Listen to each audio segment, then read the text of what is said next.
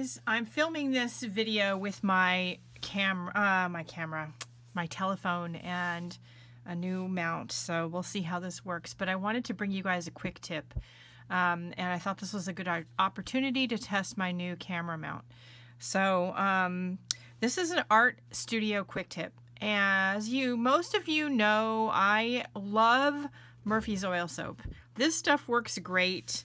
Um, I know it's hard to get in some places, but maybe you have something similar where you live. Um, this um, soap is intended for cleaning wood. Um, it's made, um, it says pure vegetable. It's got 2% synthetic ingredients. Um, it's water, coconut, and plant derived cleaning ingredients, and natural fragrance, it says. And um, it is a really great oily moisturizing soap. It's really good uh, for your paintbrushes, uh, your stencils, and a host of other things in the art room. Cleaning uh, paint out of your clothing, it works pretty well for that if you get paint on your clothes. Um, I use it pretty well. If I have, st I'm bad about cleaning my stencils. Y'all should know that first right off the bat. I don't clean them often, and when I do, they're usually pretty bad um, and or I've been using texture paste or something else. In that case, you have to clean them right away. So when I'm cleaning my stencils, I put them in a wash tub or a, bu a bucket. And I use almost pure strength Murphy's oil soap.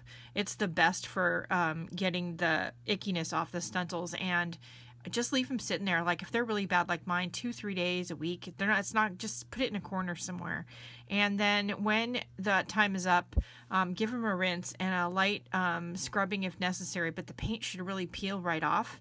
Now, when I scrub any of my stuff, I use a simple green and yellow kitchen scrubby sponge. There's lots of different brands of these. Use what you can buy. You can find them at the dollar store. Um, if you're in the UK, they probably, I don't know, maybe they have them at the pound shop, but here in the US, we have them at Dollar Tree.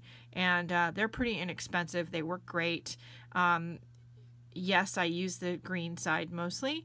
I even use it on my hands. It gets all the paint and ickiness off my hands. Murphy's Oil Soap even gets Dylusions ink off your hands. Dylusions ink, which I know is water soluble, but it doesn't seem to be when you get it on your skin. It seems to stain. This will get it off. Um, Murphy's, um, about a quarter cup diluted in, say, I don't know, a quart of water, warm water, um, is a solution that I use to clean dry paint and things off of the surfaces in my art room, um, including my table and my mats and everything.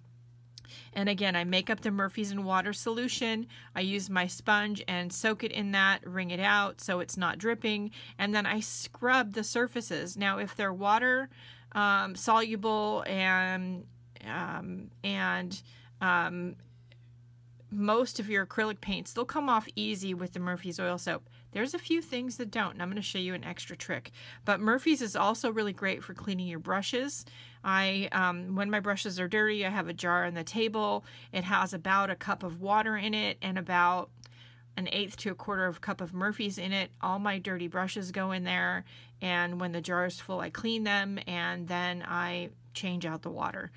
Um, sometimes they're in there for a while because I'm a bad brush parent and I don't clean them as often as I should, as I should, but they're in soapy water, so you know. I keep lots of rags around the art room to dry things off with after I'm done cleaning them and for using for paint and stuff instead of using a lot of paper towels. But I did want to show you another trick. So I don't really have a canvas to do this on, but I do have this um, is a cake spreader from the dollar store it's plastic. Uh, I use it for gluing and obviously spreading paint and all kinds of things. It usually looks like this. This trick will work on um, those spots of paint or ink that are, say, on your table or your work surface that the Murphys won't get off. This will also work on a canvas if you want to blend things a little more. Now I know you're like, what the freaking heck is she talking about? All right, so we're going to take some isopropyl alcohol this is a 91% solution. That's the best one. If you have 70, you're going to have to leave it, leave it sit for a little longer. This has literally been sitting while we are talking, and I'm not sure if you can see. There's a little bit of alcohol on there. That wet spot's alcohol. and I've had it sitting on there. And all I did was I took some of the alcohol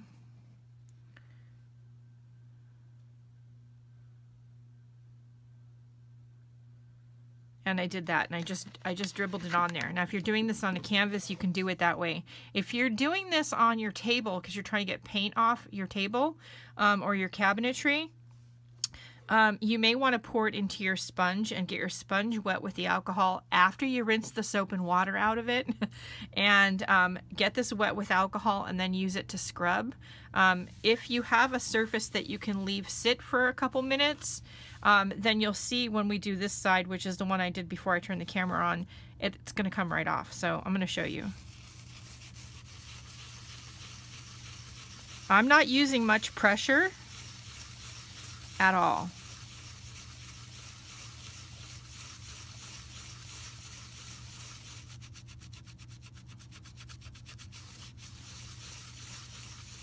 So it will reactivate, and look at that. See, it'll reactivate the paint. It'll make it come off. It's not like when the paint is wet, so don't expect it to be.